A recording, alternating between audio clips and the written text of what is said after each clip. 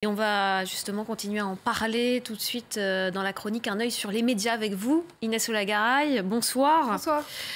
Euh, ces révélations, en tout cas sur euh, Nathalie Loiseau, sont très commentées sur les réseaux sociaux. Oui, vous venez de le dire, c'est donc une révélation de Mediapart. En fait, Nathalie Loiseau se présente comme un barrage à l'extrême droite, et ça, eh bien, l'auteur de l'article cherche à le remettre en question rapidement. Hein. En fait, l'effet date de 84. Ce sont des élections étudiantes à Sciences Po, et Nathalie Loiseau figure sur une de l'Union des étudiants de droite, issue du GUT, qui est une organisation euh, étudiante euh, d'extrême droite très active dans les années 70. Euh, Alors en fait, eh bien, nous explique Le Monde. Lundi, quand l'affaire est sortie, eh bien, Nathalie Loiseau a d'abord nié les faits.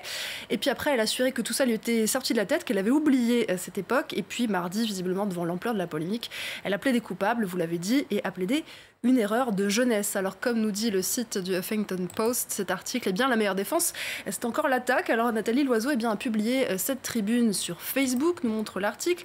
Elle explique voilà, qu'en fait Edoui Plenel eh bien, a fait un amalgame. Certes, elle était sur une liste où étaient présents des étudiants qui passeront plus tard à l'extrême droite, mais elle n'était pas d'extrême droite. Pour elle, eh bien, ça n'a rien à voir. Elle accuse Edoui Plenel eh bien, que elle lui en fait, elle lui reproche que pour lui, eh bien, c'est insupportable d'imaginer qu'un jeune de 20 ans peut être gaulliste et pas maoïste, donc référence eh bien, au passé euh, donc, du fondateur euh, de Mediapart, ce à quoi Edward Plenel lui répond Le problème, la question, c'est pas d'avoir un passé, mais c'est bien d'en rendre compte. Il dit que lui, il a rendu compte eh bien, de tous ses agissements euh, dans un livre qu'il a publié en 2001 et il reproche en fait à Nathalie Loiseau eh bien, de ne pas avoir fait la même chose. La candidate donc aux élections, la tête de liste pardon, à l'REM aux élections européennes, eh bien, elle insiste en disant qu'elle n'avait pas perçu à l'époque la couleur politique de cette liste et maintient qu'elle fera barrage à l'extrême droite aux élections européennes fin mai. Deux affirmations qui sont du pain béni pour ses adversaires politiques. Vous voyez euh, Benoît Hamon qui se moque d'elle en disant qu'elle était candidate d'extrême droite à son insu. Et puis cette photo qui circule sur les réseaux sociaux. Voilà le barrage contre l'extrême droite. On voit un grand barrage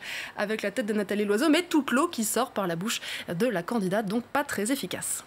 Allez, une autre polémique à présent, euh, cette fois-ci autour de la chaîne CNews. Oui, alors tout est parti d'un reportage qui a été diffusé dimanche sur la chaîne. C'était en fait sur le week-end d'Emmanuel Macron et son épouse au Touquet.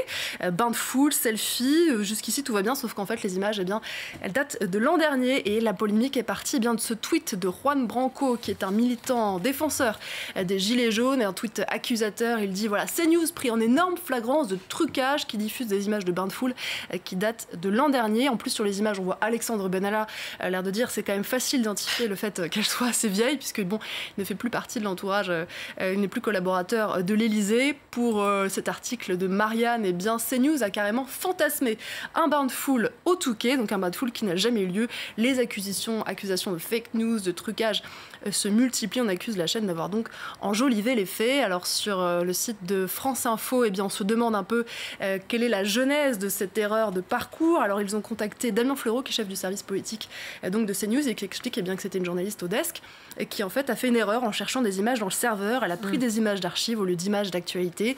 Il s'agit donc d'une simple erreur humaine. Il dit évidemment eh bien, que c'est aussi la responsabilité du, chef, du rédacteur en chef pardon, qui n'a pas noté euh, la confusion. On apprend, voilà, exactement.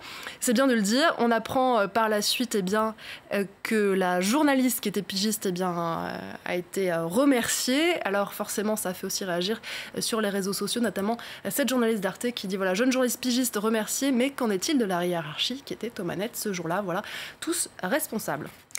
On va terminer avec une photo qui date, euh, elle, bien euh, de ce week-end de Pâques et qui a surtout euh, fait rire les internautes. Et oui, c'est Donald Trump et son petit lapin de Pâques que vous voyez sur cette photo dans gros lapin de Voici. Voilà, Donald Trump qui provoque l'hilarité des internautes en posant avec un gros lapin. Et puis surtout, ça dépend d'où on regarde Donald Trump et son lapin. Ici, ça lui fait des grandes oreilles, ça lui va pas trop mal. Alors, sur les réseaux sociaux, les internautes se sont amusés forcément à détourner la photo. Euh, si je devais choisir l'un des deux comme président, je pense que je choisirais le lapin, nous dit cet internaute sur Twitter. Et puis d'autres essaient de deviner qui est bien dans le costume. Alors, visiblement, il y a une ressemblance avec euh, Rod Rosenstein, qui est le procureur général adjoint des États-Unis.